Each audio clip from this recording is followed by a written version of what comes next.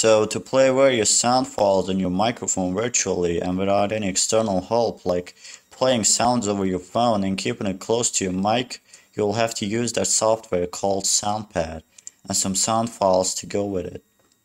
You can install the free version of SoundPad but it's not gonna cut it for what you're going to do.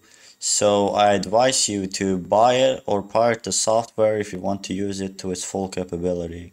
The free version only lets you play sounds 20 times a day if I'm not mistaken, which is good if you want to test out how the program works, but you'll have to get the full version if you want to use it correctly. To be honest here, I pirated myself and it works great. I can post the pirated version's link here for apparent reasons, but I'll drop the link below for the legit ones. So you're just gonna copy the link I gave you on the description and paste it on your browser. It's gonna get you this site, then you're gonna press buy.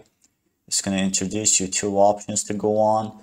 You can buy it for 4 euros, which is cheap if you're from US, uh, Western Europe or Northern America.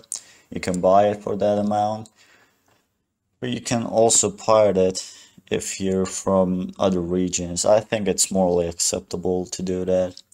You can also try the free version of it, but it's, like I've said before, it's pretty useless. After you're done downloading, launch the program, create a new category there, you can name it whatever you want, then add some new sound files for it. I added those and if you want to play it on your microphone you're gonna double click on those. Last side. Last side. Go away, go away, go away, go away, go away! These all also played on my microphone. You can hear the sounds playing a little bit odd because it played on my speakers and also on my microphone. That's the reason why it sounded a little bit different. So it's also going to happen when you're playing games and talking to your teammates and, or enemies or shit. So you can also play those sounds by pressing a key on your keyboard. To do that, you should select the sound file and press set hotkey.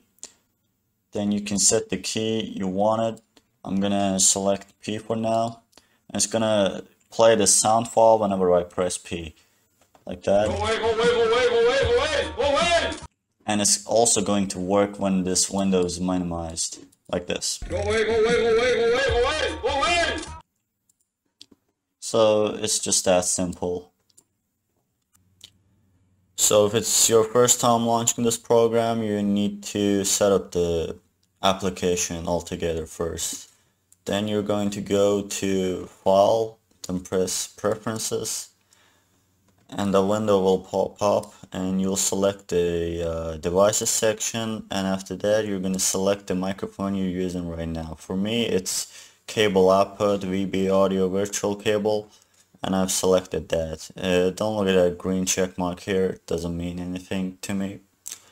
And you gotta make sure the check uh, the box here it's checked. And there are also other options like hotkeys. These are the most useful ones for me. Play previous file, next file, stop playback, start playback. And I've binded some keys for those too. And there are also some other options there you might use. Like the voice volume. That one's pretty useful. And yeah.